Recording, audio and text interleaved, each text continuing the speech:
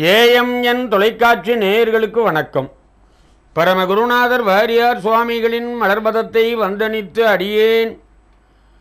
தினம்தோறும் நமது ஏஎம்என் தொலைக்காட்சியின் வாயிலாக சமய சான்றோர்களாகிய நால்வர்களினாலே பாடல் பெற்ற திருத்தலங்கள். ஒவ்வொரு திருத்தலத்தின் வரலாற்றை ஒரு சிறு அளவு இருக்கக்கூடிய நேரத்திற்கு ஒத்தவாறு சொல்லி வருகின்றேன். மெய்யன்பர்கள் அங்கே சென்று முழு விவரத்தையும் பெற்று இறைவனின் அருளை பெற்று பரிபூரண கடாட்சமாக வாழ வாழ்த்துகின்றேன். இன்றைக்கு நாம் மேற்கொள்ள இருக்கும் திருத்தலம் திருக்குடந்தை காரோணம். அன்னையின் பெயர் சோமசுந்தரி. இறைவனின் திருநாமம் சோமசுந்தர ஈஸ்வரர் தீர்த்தம் மகாமக தீர்த்தம். பாடியவர் உமை அன்னையின் திரு அமுது உண்ட திருஞான சம்பந்த சுவாமிகள். இத்திருத்தலத்தை உமாதேவி வழிபட்டதாகவும் மான் தாதா என்று சொல்லப்பட்டவர் வழிபட்டதாகவும் வரலாறு. இந்த திருத்தலம் காவேரியின் தென்கரையில் உள்ளது. இங்கு உள்ள விநாயக பெருமானுக்கு பதினோரு திங்கட்கிழமை சோமவாரம். இருபத்தி ஓரு அருகம்புல்லு இருபத்தி ஓரு அருகம்புல்லுகளை வாழை நாரிலே கட்டி இருபத்தி ஒரு கட்டை ஒரு மாலையாக்கி போட்டு அவரிடத்திலே விநாயக பகவானை பற்றி பக்கரை விசித்திரம் மணி பொற்கள் அன்னை இட்ட நடை பற்றி எண்ணும் மிக்க துறக்க முனீபம். பக்குவமலத்தொடையும் இக்குவடு பட்டுருவ விட்டருள் கை வடிவேலும். திக்கதும் அதிக்க வரும் குக்குடமும் ரட்சை தரும் சிற்றடியும் முற்றிய பன்னிரு தோளும் செய்ப்பதியும் வைத்துயர்த்திருப்புகள் விருப்பம் அடி மறவேனே. இக்கவரை நற்கணிகள் சர்க்கரை பருப்புடன்னை எட்பொறி அவட்டுவரை இளநீரி. வண்டிச்சில் பயரப்ப வகை பச்சரிசி விட்டு வெள்ளரி பழம் இடிப்பல் வகை தனி மூலம்.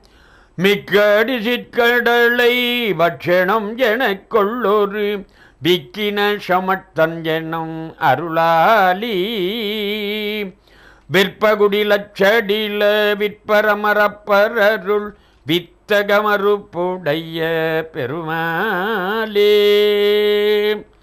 என்று பதினோரு திங்கட்கிழமை திருப்புகளை படிக்கத் தெரியாதவர்கள் புஸ்தகத்தை வாங்கியாவது படித்து அருள் செய்ய.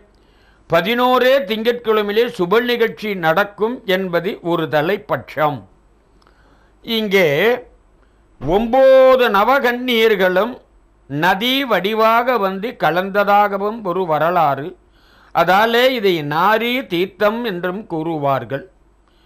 சுவாமிகள் மகா மகா குளம் என்று சொல்லப்பட்ட அந்த மகாமக குல உற்சவத்திற்கு சுவாமி எழுந்தருளுகின்றது மாபெரும் விழா.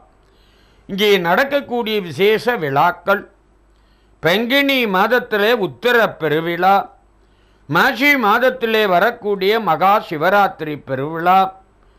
அடுத்து ஐப்பசி மாதத்திலே வரக்கூடிய அன்ன அபிஷேகம். மாபெரும் விழாவாக நடைபெறக்கூடிய விழாக்கள் மார்கழியிலே வரக்கூடிய ஆருத்ரா தரிசனம் இதெல்லாம் மிகவும் விசேஷமானது. இதை ஏன் கும்பகோணம் என்று வைத்தார்கள் என்று சொன்னால் பிரம்மதேவராகப்பட்டவர் முன்பு ஒரு கர்ப்பகாலத்திலே உலகம் அனைத்தையும் நீரால் சூழ்ந்து பிரளயம் வரக்கூடியதை முன்கூட்டியே அறந்தி கைலாயம் சென்று நந்தியம் பெருமானின் உத்தரவு பெற்று ஆழமுண்ட நீலகண்ட அன்னலே ஒரு காலத்திலே உலகம் அனைத்தும் பிரளயமாகுமே. அப்பொழுது மனிதர்களையும் உயிரினைகளையும் படைப்பதற்கு நான் என்ன செய்வேன் என்று கேட்டான். அதற்கு சுவாமிகள் திருவாயும் வளர்ந்து சொன்னார் பிரம்மா நீ பல புண்ணிய தலங்களுக்கு சென்று அங்கு இருக்கக்கூடிய மண்கள் அனைத்தையும் ஒவ்வொரு பிடியாக எடுத்து பல புண்ணிய நதிகளிலே இருந்து தீர்த்தங்களை எடுத்து அந்த மண்ணையும் அதையும் ஒன்றாக்கி ஒரு பொற்குடத்திலே நிரப்பி அதன் மீது மா இலை தேங்காய் எல்லாம் வைத்து நூல்களை சுற்றி உறுதி என்ற உரியிலே வைத்து வில்வ அர்ச்சனை செய். பிரளயம் வரக்கூடிய நேரத்தில் நான் வந்து உனக்கு அருள் செய்வேன் என்று சொன்னார். அதன் பிரகாரம் பிரம்மதேவராகப்பட்டவர் பற்பல திவ்ய கஷேத்திரங்களாகிய சிவன் உரையக்கூடிய ஆலயமெல்லாம் சென்று அங்கு அங்கே இருக்கக்கூடிய மண்களை பிடிபிடியாக எடுத்து அந்த பொற்குடத்திலே நிரப்பி பல புண்ணிய நதிகை கங்கை யமுனை சரஸ்வதி துங்கபித்ரா நர்மதா கிருஷ்ணா கோத்தாவரி காவேரி சிந்து என்று சொல்லப்பட்ட ஒன்பது நதிகள் தான் நவநதிகள்னு பேர். இந்த நவ நதிகளிலே இருக்கக்கூடிய தீர்த்தமெல்லாம் அந்த மண்ணினுடன் சேர்த்து ஒன்றாக பிசைந்து உள்ளே வைத்து அதற்கு மேலே மா இலை அதன் மீது தேங்காய். தேங்காய் என்பது மூன்று கண்களை உடையது. அதை வைத்து நூலெல்லாம் சுற்றி உரியிலே வச்சு வில்வ அர்ச்சனை செய்தார். இவர்கள் எதிர்பார்த்தபடியே மூன்று கடலும் பொங்கி பிரளயம் வந்தது. பிரளயம் வரக்கூடிய நேரத்தில் அந்த திவ்ய திருத்தலங்களிலிருந்து எடுக்கப்பட்ட மண் அனைத்தும் வைத்த அந்த பொற்குடமானது. அது கும்பம்னு பேர். அதால தான் நம்ம ஆலயங்களிலே எல்லாம் புதுசாக கட்டக்கூடிய ஆலயமோ அல்லது பழைய ஆலயங்களையோ புதுப்பித்து பண்ணக்கூடியதுக்கு பேர் மகா கும்பாபிகேஷம்னு சொல்கிறோம் கும்பம் என்று சொன்னால் களையம் என்று பொருள். நம்ம கும்பத்துக்கா அபிஷேகம் பண்ணுறோம் இல்லையே. அந்த கும்பம் பல புண்ணிய நதிகளிலே உள்ள தீர்த்தத்தை தாங்கி கொண்டிருக்கின்ற காரணத்தினாலே அதன் பெயர் விளங்குகின்றது. விளக்குன்னு சொல்கிறோம் குத்து விளக்குன்னு சொல்கிறோம் குத்து விளக்கா நமக்கு வெளிச்சத்தை தருது? இல்லையே. அந்த விளக்கின் மீது மேலே இருக்கக்கூடிய பகுதியிலே நெய்யோ தைலமோ விட்டு திரி போட்டு எரிகிறது.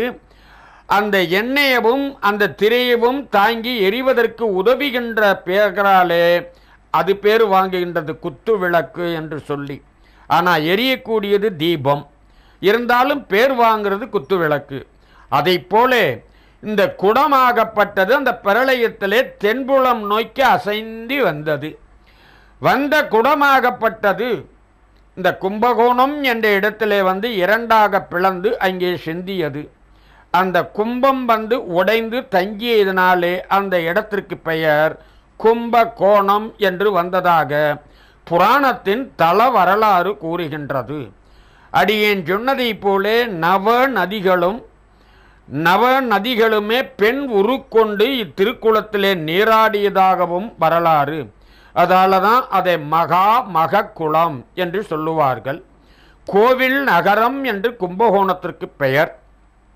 அப்பேற்பட்ட திருக்குடந்தை காரோணம். பத்தாவது நூற்றாண்டிலே உங்களுக்கெல்லாம் தெரியும் தெரிஞ்ச கதை தெரியாத கதை இல்லை. மாபெரும் ஒரு துறவி வாழ்ந்தார். இந்த தாய்மானவர் சுவாமி ரொம்ப அழகாக சொல்லுவார். பாரனைத்தும் தேடினினும் பற்றினத்து பிள்ளையைப் போல் யாரும் துரத்தல் அரிது அரிது ஜகத்தீரே. தாய்மானவர் சுவாமி சொல்றார் அவர் பதினாறாவது நூற்றாண்டு.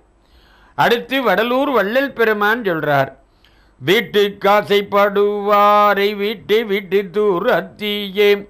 வேட்டாண்டியாய் உலகில் ஒட்டாண்டியாக்குவார்க்கும். பாவன் சிவனேன்னு அவர் ராஜாவா இருந்தார் கப்பலில் வியாபாரம். அப்பேற்பட்ட அவரிடத்திலே சிவனே மகனாய் போய் வளர்ந்து அவர் துறவியாய்க்கு பட்னியா போட்டு பசியின் கொடுமை தாங்காது இந்த ஆலயத்துக்கு போறார் பட்னத்து சுவாமி. அங்கே இருக்க மூலவரை பார்த்து கேட்கிறார் ஏ பரமேஸ்வரா எறும்பு ரொம்பவும் சிறிய ஜீவன் அதுக்கு நீ உணவு படைக்கிற? எறும்பு எந்த ரேஷன் கடையில் போய் காடு வச்சு அரிசி வாங்குது பருப்பு வாங்குது இல்லையே? அதுக்கும் நீ படியளக்கிற. யானை மிகவும் பெரிய ஜீவன் அதுக்கும் படியளக்கிற. எறும்பு முதல் யானை வரை எல்லா உயிர்களுக்கும் படியளக்கிறையே. என்ன மறந்துட்டியே. நான் பசியால் வாடுறேனே.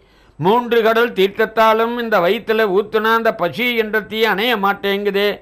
கொஞ்சம் கடைக்கண் பார்க்க மாட்டாயா? அந்த பாவனையிலே ஒரு பாடல் பாடுறார். அத்தினா யானை. அத்தி முதல் எறும்பியீரான உயிர் அத்தனைக்கும் சித்தம் மகிழ்ந்து அழிக்கும் தேசிகா. மெத்த பசிக்குதையா பாவியன் பால் வயிற்றை பற்றி இசுக்குதையா கண்பாறு காரோணனே இத்திருத்தலத்திலே வந்து பாடுகின்றார் பாடிய உடனே இறைவன் செவிமடுக்காமல் இருப்பாரா? இவர் என்ன செய்கிறார்? வடக்கே உஜ்ஜயினி என்ற ஒரு இடம் அந்த இடத்திற்கு சென்றார். அப்பொழுது இறைவனிடத்திலே சவால் விடுகிறார். என்னை இழித்தும் பலித்தும் பேசுகின்றார்கள். எனவே பரமேஸ்வரா நான் இருக்கக்கூடிய இடத்துக்கே உணவு வந்தால் உண்பேன். இல்லாவிட்டால் உண்ண மாட்டேன் என்று சொல்லிவிட்டு அங்கே இருக்கக்கூடிய ஒரு விநாயக மூர்த்தியின் ஆலயத்திலே சென்று அமர்ந்தார்.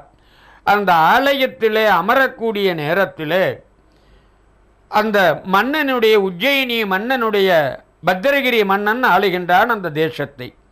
கஜானாவிலே கல்வர்கள் திருடி செய்தார்கள். திருடியவர்களை சேவகர்கள் துரத்துவதற்கு முன்பு அவர்கள் தப்பிவிட்டார்கள். அக்காலத்து திருடர்கள் இது பத்தாவது நூற்றாண்டு. ஏதோ கடவுள் மீது கொஞ்சம் நம்பிக்கை வைத்திருந்தவர்கள் ஒரு ரத்ன ஹாரத்தை எடுத்து விநாயகா உனக்கு அர்ப்பணம்னு போட்டார்கள். அது சிவனேன்னு இருந்த இவர் கழுத்தில் விழுந்துச்சு. உள்ளியர் தெல்லியர் ஆயினும் ஊழ்வினமெல்ல உள்ளே நுழைந்துவிடே என்பார்கள் சான்றோர். இவர் சிவனேன் இவர் கழுத்தில் விழுந்துச்சு. சுவாமி சொன்னார் படுமணமே படுன்னார் மறுநாள் காலையிலே ஆலய அர்ச்சகர் நடையை திறந்தார். இந்த சன்னியாசி கழுத்தில் ரத்ன மாலை இருக்கே இது அரமனைக்கு உரியதாச்சு என்று சொல்லி அரசனிடத்திலே பிராது செய்தார். காவலர்கள் கட்டி இழுத்துச் சென்றார்கள். பத்திரகிரி மன்னன் பார்த்தான். பெரியவரே நீ திருடினீரான்னார் அவர் ஒன்றுமே சொல்லலை. அன்று அளந்த தாமரையைப் போல் சித்திர தீபத்தைப் போல சிவசிவானார். உடனே மந்திரி சொன்னார் இப்படிலாம் விட்டோம்னாக்க களவு பெருத்து போயிடும் ஒரு களவுல ஏற்றுங்கன்னார் அந்த காலத்திலே சட்டமன்றமோ நாடாளுமன்றமோ நீதிமன்றமோ கிடையாது வழக்கறிஞர் கிடையாது. செங்கோல் ஆட்சி கழுவு மரத்திலே ஏற்றிடுவாங்க இது பத்தாவது நூற்றாண்டு கதை. உடனே கழுவு மரத்துக்கிட்ட இழுத்துட்டு போனாங்க. இவர் சிவசிவான்ட்டு போனார். ஏழடி உயரம் கழுவு மரம் கழுவு மரத்தை பார்த்தார் பட்டினத்தார் என் செயல்லாலேயாவதியாதி ஒன்றுமில்லை இனி தெய்வமே. உன் செயல்லே என்று உணரப் பெற்றேன். இந்த ஊனெடுத்த பின் செய்த தீவினையாதி ஒன்று இல்லை பிறப்பதற்கு முன் சென்ற தீவினையோ இங்கனே வந்தி மூண்டதுவே. கழுவு மரம் கற்பூர மாதிரி எரியுது. தமிழுக்கு உள்ள பெருமை. தமிழ் மொழிக்கு உள்ள பெருமை எந்த மொழிக்கும் கிடையாது. இரும்பை எரிய வச்சது தமிழ். உடனே மன்னன் கேட்டான் ஆ இப்பேற்பட்ட சிவனருட் செல்வரா நான் தண்டித்தேன். அந்தோ கெட்டேன். எனக்கு முடி ஒரு கேடா பூச்சக்கர கொடை ஒரு கேடா என்று முடியை துறந்தான் அரியணையை துறந்தான் ரதகஜ துறக்க பதாதியை துறந்தான். இடுப்பிலே கந்தையை கட்டி அவர் திருவடியிலே வந்து குருவடியே சரணம்னா இருவரும் வந்து திருவடியை மருதூரிலே பிச்சை எடுத்து உண்டார்கள். அவன் ஒரு திருவோடும் ஒரு பெண்ணாயும் வச்சு இவருக்கு படி அளக்கிறான். மூன்று இலை போட்டு கற்பூர ஆரத்தி செய்து குருப்பிரசாதம் உண்டு தானம் உண்டு அந்த நாய்க்கும் கொடுத்தான். சிவபெருமானாகப்பட்டவர் தொண்டர் குடியை கெடுக்க துசங்கட்டி கொண்டவர் சிவபெருமான். அடியார்களை சோதிப்பது அவருக்கு அளப்பரிய கருத்து. உடனே வந்தார் அத்தை யாமத்திலே பஞ்சனையிலே படுத்த பட்டினத்தார். வாயற்படியிலே கோவில் வாயப்படியிலே கீழே கோபுரத்தில் கையை தலைக்கு வச்சு படுத்திருக்கார். தட்டி எழுப்பினார். பசீனார் பட்டினத்தார் விழித்தார். அட பரதேசி நான் கட்டியிருக்கிற கோவணமே பாரமா தெரியுது எங்கிட்ட வந்து கேட்குறியே உனக்கு அறிவு இருக்கான்னார். கிளத்துக்கு கிளங்கோபம் வரலாமா? ஒரு முகாந்திரம் சொல்லுனார் பரமேஸ்வரன். மேலே கோபுர வாசலில் என்னுடைய சீடன் இருக்கா? அவங்ககிட்ட போனார். அங்கே போனார். அவனா சம்சாரின்னார். என் குருநாதர் என்ன சொன்னார்னு கேட்டார் பத்திரகிரி மன்னன் நீ சம்சாரியான்னார். இந்த திருவோடும் இந்த நாயுமா எனக்கு சம்சாரி பட்டம் கொடுக்குது என்று சொல்லி அந்த ஓட்டை எடுத்து நாயை அடித்தார். ஓடு உடைஞ்சது. இந்த நாய் இந்த ஞானிகளின் எச்சிலை உண்ட காரணத்தினாலே காசி மன்னனுக்கு மகளாய் பிறக்கின்றது. உடனே அவள் பூப்பை எய்தினால் எனக்கு கூறியவர் அங்கே இருக்கார்னு கொண்டு சொன்ன உடனே அந்த மன்னன் கொண்டு வந்து இவர் கையிலே கொடுக்க புஷ்பக விமானத்திலே கைலைபதி அடைகிறார். அப்பதான் பட்டினத்தார் அழுகிறார். என் மாணவனுக்கு கொடுத்தே எனக்கு இல்லையான்ட்டு. இதை நுனித்து அன்பர்கள் உணர வேண்டும். அதால தான் குருவை வணங்குபவர்களுக்கு நூறு மதிப்பெண் இறைவனே வழிபடுபவர்களுக்கு ஐம்பதே மதிப்பெண். குருவுக்குள்ளே இறைவனை காணலாம்.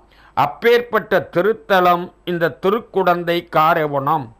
இங்கே இருக்கக்கூடிய விநாயகரை பதினோரு திங்கட்கிழமை. அருகம்புள்ளு மாலை சாத்தி வழிபட்டு வந்தவர்களுக்கு திருமண தடை நீங்கும் என்பது ஐதீகம். மிகவும் விசேஷமான திருத்தலம். இங்கே இந்த மகாமக உற்சவம் என்பது மிகவும் பெரிய நிலை. நவ கன்னியர்கள் பூஜித்த திருத்தலம். இங்கே மாந்தாதா உள்பட உமா அன்னை உள்பட வந்து வழிபட்டதாக வரலாறு உண்டு. இது கும்பகோணம் என்பது மையப் பகுதியிலே உள்ள திருத்தலம். கும்பகோணம் என்பதற்கு பெயரே கோவில் நகரம்னு பேர். காஞ்சிபுரம் கும்பகோணம் மதுரை இதையெல்லாம் வந்து பெரியவர்கள் கோவில் நகரம்னு சொல்லுவாங்க. ஏன்னா தடிக்கு விழுந்தா கோவில். அப்பேற்பட்ட இந்த கும்பம் வந்து அங்கே தங்கியதாலே அதுக்கு கும்பம் ப்ளஸ் கோணம். கும்ப கோணம் என்று வந்தது. அதிலே உள்ள விதைகளை வச்சு பிரம்மதேவராகப்பட்டவர். சிவபெருமானின் வாக்குப்படியாக நிலத்திலே வாழ்வன நிற்பன நடப்பன ஊர்வன பரப்பன இந்த மானுடர்களாகிய நாம் என்று சொல்லி எழுவகை பிறப்புகளையும் படைத்தார்.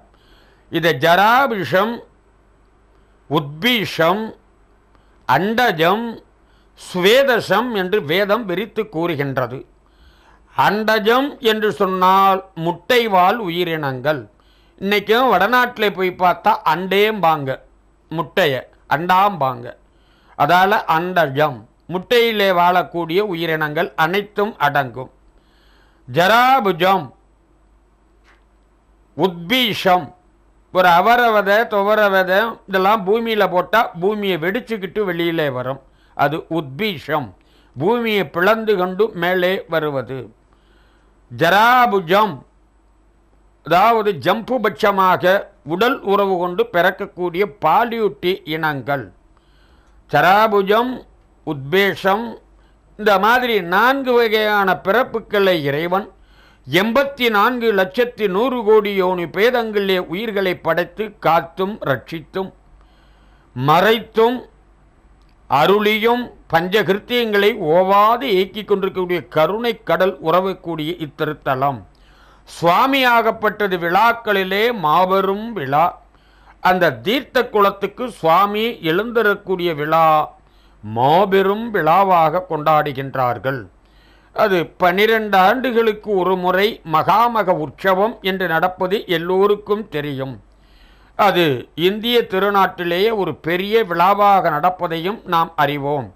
அப்படி படைப்பு தொழில் செய்யக்கூடிய பிரம்மதேவராகப்பட்டவர் சிவபெருமானினிடத்திலே வேண்டி எண்ணற்ற புண்ணிய திருத்தலங்களிலே இருக்கக்கூடிய மண்களெல்லாம் எடுத்து நான் நவநதிகளை உங்களுக்கு ஏற்கனவே சொன்னேன்.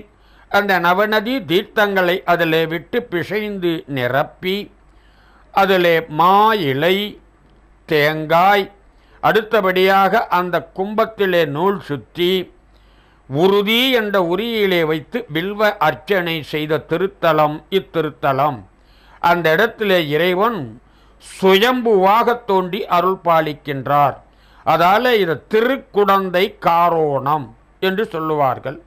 குடந்தை என்று சொன்னால் கும்பம் என்று பெயர்.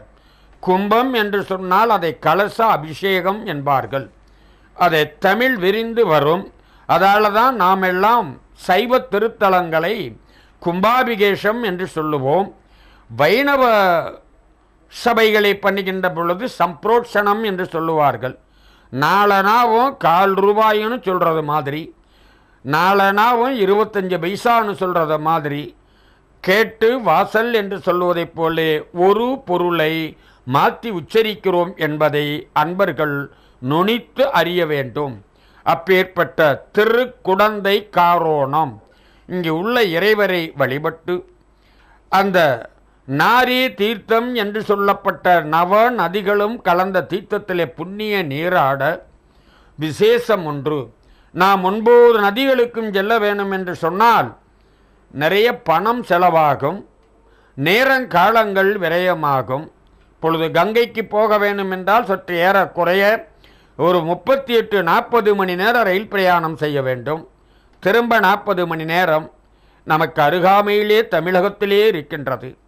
அதிலேயும் இந்திய திருநாடு அல்ல உலகத்திலேயே அஞ்சு கண்டத்திலேயும் தமிழ்நாடு செய்த தவத்தை தமிழ்நாடு செய்த வரத்தை தமிழ்நாடு செய்த இறை பலத்தை எந்த நாடும் பெற்றதாக யாண்டும் வரலாறு கிடையாது.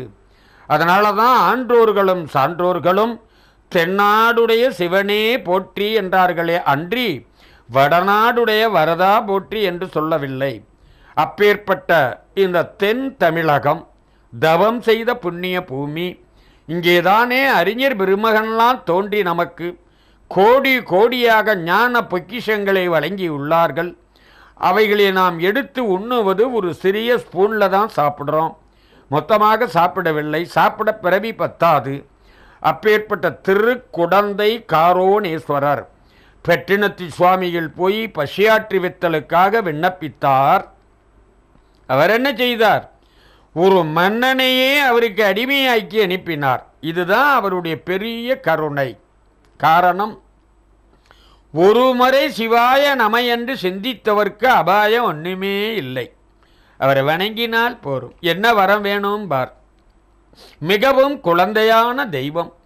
அவரை வணங்கி வழிபட்ட பெரியவர்கள் ஒருவரா இருவரா? எத்தனையோ கோடான கோடி பேர்கள். தன் பக்தனின் பொருட்டு சிவபெருமான் தூதே போனாரே வேதங்கள் காணாத பாதன் திருவாரூரிலே ஒன்பதாவது நூற்றாண்டிலே. இதையெல்லாம் ஆயிரம் ஆண்டுகளாக பிரம்மாவும் விஷ்ணுவும் திருவடியும் திருமுடியும் காணவில்லை. அந்த வேதங்கள் காணாத பாதன் தன் பரம பக்தனுக்காக தூது போகிறார் வேதநாயகன். அப்பேற்பட்ட கருணை கடல் கிருபாநதி தயா சமுத்திரம். நாம் யாராவது உயிரோடு ஒரு ராத்திரி போய் சுடுகாட்டில் தங்குவோமா? நம்ம வேணான்னு ஒதுக்கின சுடுகாட்டை அவர் எடுத்துக்கினார் அது யாராவது விலைக்கு வாங்குவாங்களா? சுடுகாட்டை விற்கிறேன் வாங்கிக்கேன்னா யாராவது வாங்குவோமா? அதை அவர் எடுத்துக்கிட்டார். நம்ம வேணான்னு ஒதுக்கினதெல்லாம் அவர் எடுத்துக்கிட்டார். நம்ம யாராவது நஞ்சை உண்போமா? அவர் நஞ்சை உண்டார் தேவர்களுக்கு அமிர்தத்தை தந்தார். அமிர்தத்தை உண்ட தேவர்களெல்லாம் மாண்டு மாண்டு பிழைக்கின்றார்கள் யுக யுகத்துக்கு. விடத்தை உண்ட நீலகண்டனோ மரணமில்லாது வாழ்கின்றான். அதான் அவருடைய பெருங்கருணை. நமக்கு பூமாலையை தந்தி அவர் தலைமாலையை பூட்டி கொண்டார் நமக்கு தங்க ஆபரணம் அவருக்கு நாக ஆபரணம். நமக்கு பட்டு பீதாம்பரம் அவருக்கு மாந்தூள் மழுத்தூள். நமக்கு பொற்கிண்ணத்திலே பாலன்னம் அவருக்கு மண்டை ஓட்டிலே பிச்சா அன்னம். நமக்கு அத்தர் பொணுகு செவ்வாது அவருக்கு சுடலை சாம்பல். நமக்கு வாசனை உள்ள மலர்கள் மல்லிகை முல்லை இருவாட்சி ரோஜா செண்பகம். அவருக்கு கொருக்கத்தி ஊமத்தை நாயுருவி. மார்க்கெட்டில் விற்காத பூ. தும்ப புஷ்பம். இதெல்லாம் அவர் அணிந்து கொள்கிறார். அதால் அவர் தியாக பொறுப்பு என்று சொல்லுவார் அருணகிரிநாத பெருமான். இதை வெற்றினது சுவாமிகள் மிகவும் வேதனைப்பட்டு சொல்கிறார் நம்மை பார்த்து. நீங்கள்லாம் இப்படி இருக்கிறீங்களே எந்த ஜென்மத்தில் கடத்தேற போகிறீங்கன்னு வருத்தப்பட்டு கூறுறார்.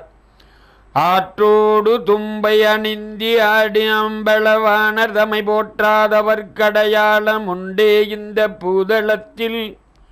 இந்த ஆத்தங்கரை குளத்தங்கரை எல்லாம் தும்பச்செடின்னு ஒன்று முளைச்சிருக்கும். அந்த தும்பச்செடி பருவ காலம் கிடையாது வருஷம் பன்னிரெண்டு மாதமும் பூக்கும். அந்த பூ சந்தையிலே விற்காது. குனிஞ்சு பறிக்கலாம் சின்ன செடி ஒரு அடி ஒன்றரை அடி உயரம்தான் இருக்கும். அந்த பூவில் ஒரு அஞ்சாறு பறிச்சா வெண்மை நிறமாக இருக்கும் அந்த பூவை பறித்து அவர் தலையில் போட்டால் மகிழ்ந்துருவார். தாற்றோடு தும்பை அணிஞ்சி ஆடு அம்பளவான தமை போற்றாதவர்க்கு அடையாளமுண்டே இந்த பூதளத்தில். சோற்றாவி அற்று சுகமுமற்று சுற்ற மற்றி ஏற்றாலும் பிச்சை கிடையாது எக்கட்டிருப்பரே ரொம்ப வருத்தப்பட்டு சொல்கிறார் இந்த பாவி சோறு வேகிற ஆவியை கூட நுகர மாட்டான். இவன் பிச்சைக்கு போனால் கூட யாருமே பிச்சை போட மாட்டாங்கன்னு வருத்தப்பட்டு சொல்கிறார் அதனால் இது கண்ணுறும் இது செவிமெடுக்கும் பக்த கோடிகள் அனைவரும் தினந்தோறும் நம் ஊரிலே உள்ள ஆலயத்தை வளம் வந்து நலம் பெற வேண்டும் என்று பணிவோடு வேண்டுகின்றேன். இந்த உடம்பு இறைவன் தந்த உடம்பு. இந்த உடம்பிலே இறைவன் இருந்து நம்மளை இயக்கி கொண்டிருக்கின்றான். அந்த இறைவனை வணங்குவதால் நமக்கு நன்மை ஏன்றி அவனுக்கு நன்மை இல்லை. எனவே இப்பேற்பட்ட திருக்குடந்தை காரோணம் என்ற திருத்தலம் நாரி தீர்த்தம் உள்ளது. மகாமக உற்சவம் நடக்கக்கூடியது. விநாயகர் திருமண தடை நீக்கக்கூடியவர். அந்த விவரத்தெல்லாம் முன்னே தெளிவாகச் சொன்னேன். இதை அன்பர்கள் கடைபிடித்து வறுமை என்ற சிறுமை நீங்கி நோயற்று பேயற்று இன்புற்று வாழ எல்லாம் வல்ல திருக்குடந்தை காரோணனை பிரார்த்தித்து நாளை ஒரு திருத்தலத்தோடு உங்களை சந்திக்கின்றேன். நன்றி வணக்கம்.